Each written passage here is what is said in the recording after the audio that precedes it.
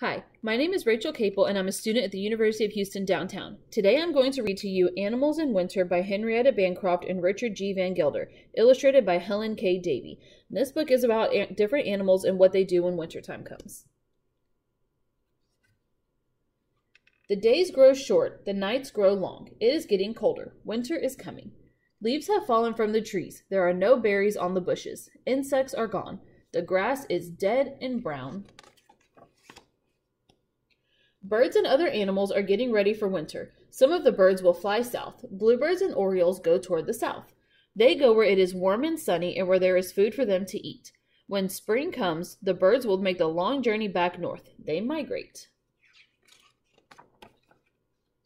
Some butterflies migrate too.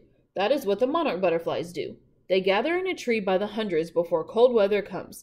They stay in the tree all night. In the morning, they fly toward their winter homes in the south. Many bats fly south too. Some bats stay in the north all winter. When the weather gets cold, they go to a cave. There is no wind or snow in the cave. The bats sleep there all winter. They do not eat. They live on fat stored inside them. They do not move. They hardly breathe. They sleep, sleep, sleep. They hibernate. Woodchucks hibernate too. When fall comes, a woodchuck eats and eats and eats. He eats grass, twigs, and leaves. He grows fat. When it gets cold, the woodchuck crawls into his long tunnel and goes to sleep.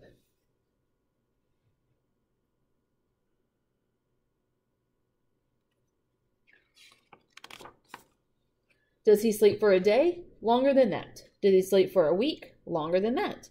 A month? Even longer. A woodchuck can sleep as long as four months. The woodchuck seems hardly alive.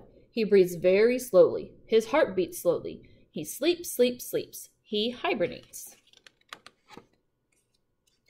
Some animals do not have to hibernate. They gather food and save it for the winter. That is what a pika does. A pika looks a little like a rabbit but with round ears.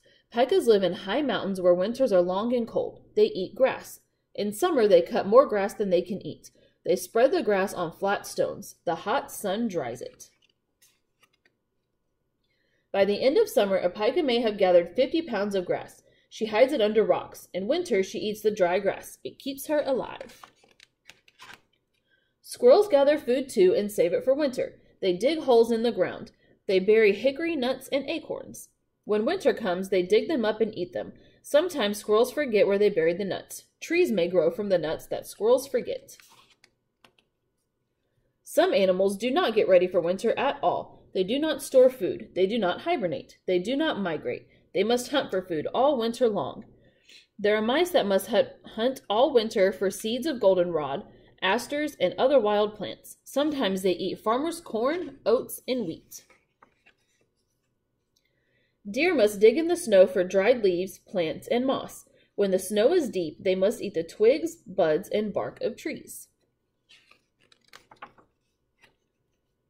The rabbit must hunt under the snow for bits of grass and plants. When the snow is deep, he too eats the buds and bark of bushes so he can stay alive. In the winter, the fox hunts for mice and rabbits. This fox discovered, has discovered a mouse in its tunnel beneath the snow.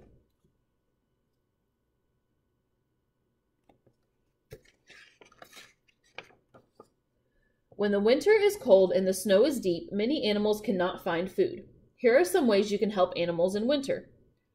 Stick fruit and cheese pieces on a dead branch. Hang suet in a plastic net bag. Nail a seed tray with drainage holes to a fence post. Make an apple, cranberry, raisin, and orange garland. Nail a sunflower head to a post or fence. Make a peanut and popcorn garland.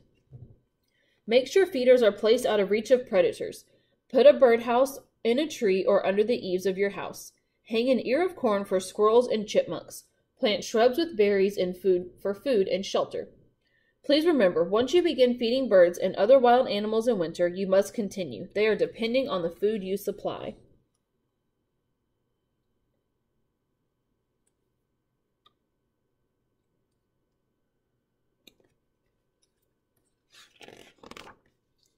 Eventually, the days grow longer, the nights grow shorter, it begins to get warmer. Spring is coming.